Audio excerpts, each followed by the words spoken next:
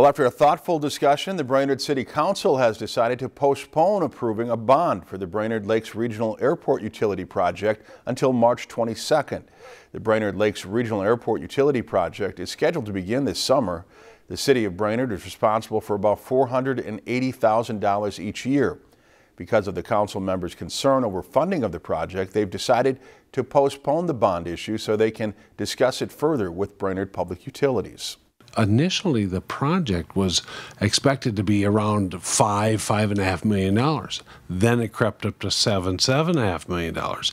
Now it's up to thirteen million dollars with interest.